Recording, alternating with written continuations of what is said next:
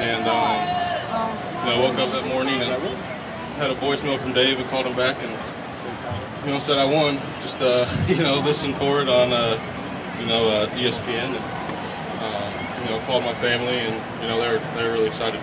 Okay, so I mean, I had a chance to talk to your dad a couple of weeks beforehand, and he had said, "So, uh, Nick, uh, Jeremy's going to win that Rookie of the Year." I said, "Yeah." I said, "He's got." I mean, uh, your numbers were. I mean, where did you think your odds were? You knew that uh, Eric Hosmer with the Royals is going to be a big candidate, as well as uh, Trumbo with the Angels.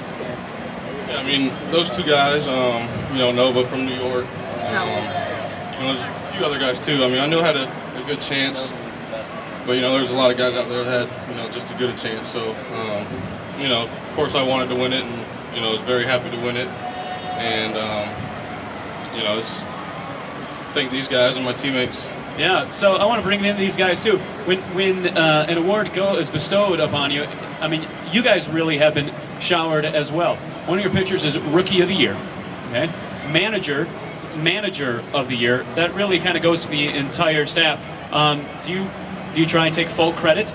Because really, you guys kind of get swept under the rug as not getting enough credit for a lot of these accolades. How do you receive them? Well, we always try to take full credit, absolutely. Good. I, I think if it wasn't for Stan and I, Jeremy would have had no Just chance like- to be the rookie of the year.